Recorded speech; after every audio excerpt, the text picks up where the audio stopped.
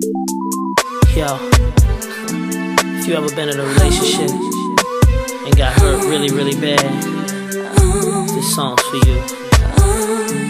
I mean, you know what it feel like. That MC, baby, tell them what we talking about. To not ever wanna do it again. Then you meet somebody, and without a doubt, you know they the one. yeah, you be so scared and nervous, you don't wanna get hurt again. Talking about.